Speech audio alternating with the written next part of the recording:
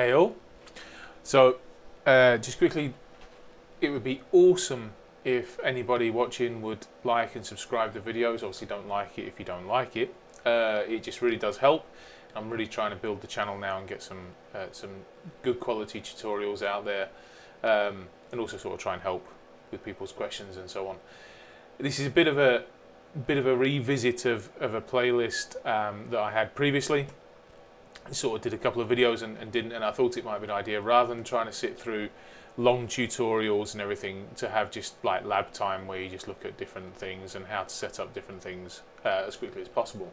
So that's that out of the way um, rather than me saying we're going to make it a quick video and then waffling for ages.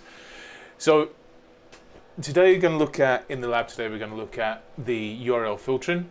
Um, it's something that Palo Alto devices obviously are more than just a packet filter. They're more than just you know um, IP and port. So we need to start looking at how we're going to really secure uh, networks. And we're going to pick on Cisco.com today. So if we look at, if we just go over to our test machine again, this is the one that is running behind the the firewall, and go to Cisco.com.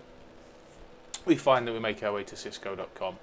Okay, and if we look on the center monitor, we the firewall, we can see that this is our rule that we're going out on, and of course there's no profiles here. Now there's, there's a couple of ways to get to the profiles, just quickly.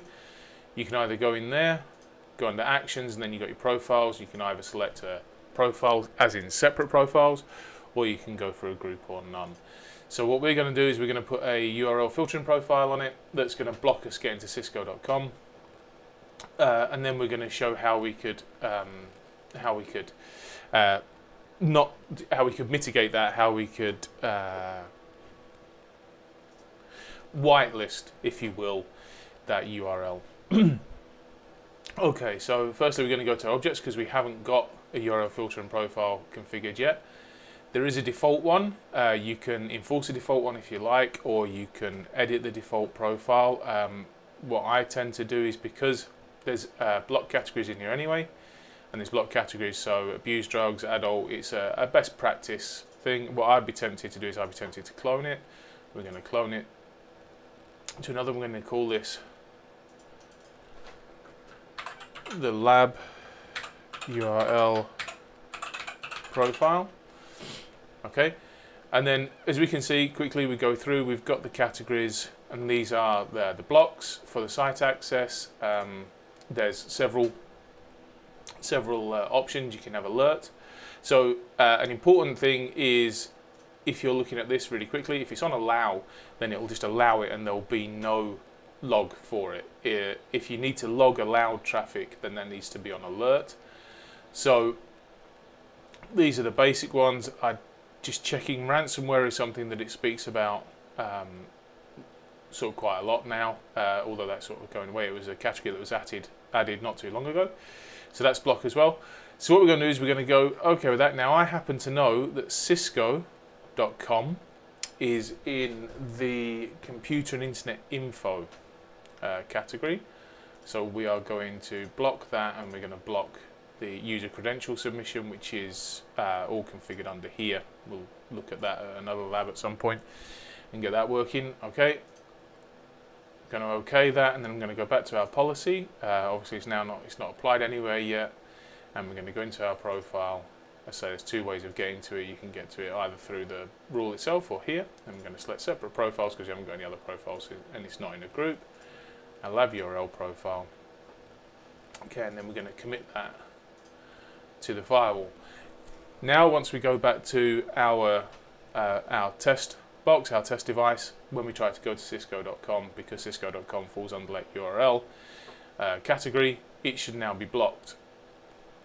However, obviously that's not necessarily entirely desirable, so we need to know how we can block, say, computer, internet, and info, uh, but allow certain sites, um, and then we'll we'll we'll add that um, we'll add that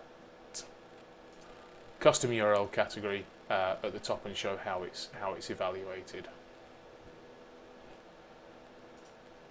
Okay, so that's now uh, committed. So if we switch back to, drop this down, what we should now see is if we try and access it,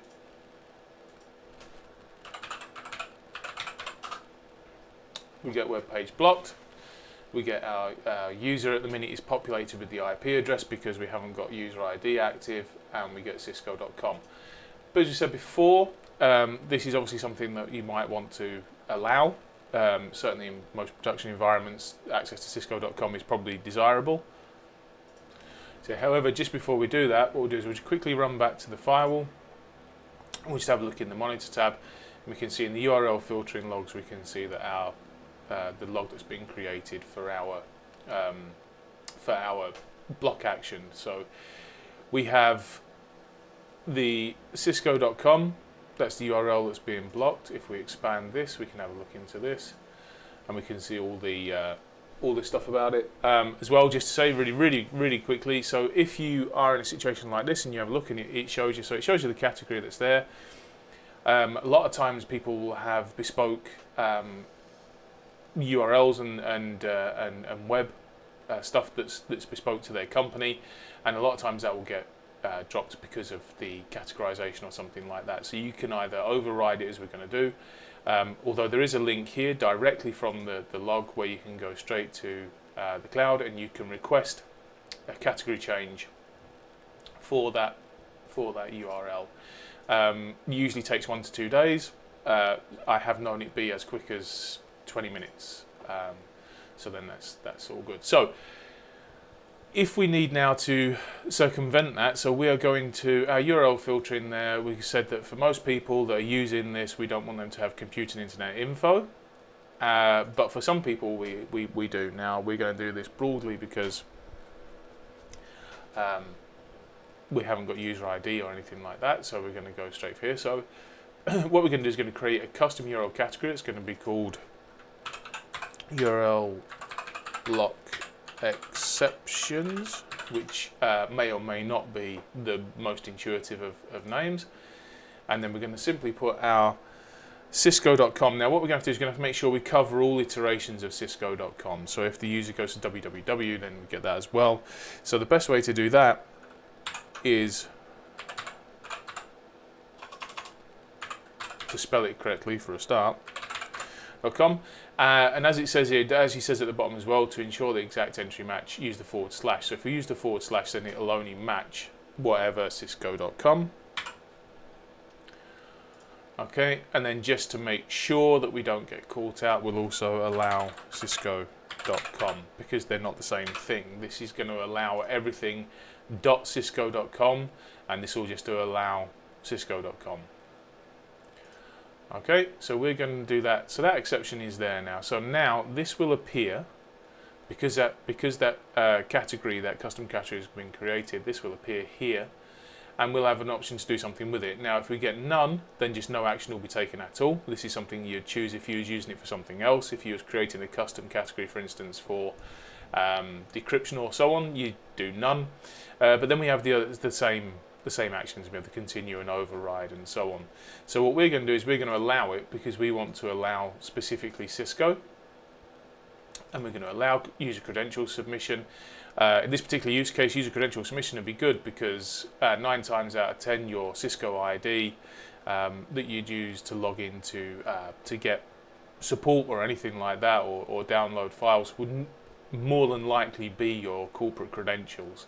Um, user credential detection is pretty much designed to stop you people uploading or using their user credentials from the um, from the corporation uh, based on like phishing sites and so on where you send it to but cisco.com you know there has to be an, ele an element of trust in this zero trust world. So I'm going to click OK with that.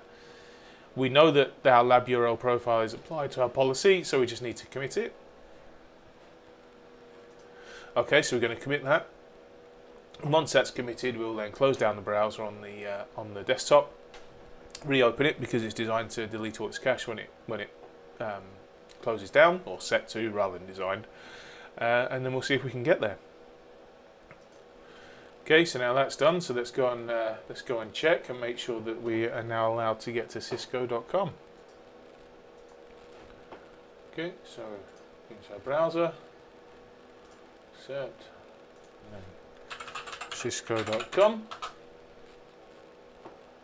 Okay, now we're allowed to get to cisco.com. We can go to the solutions, we can look at whatever we want to have a look at.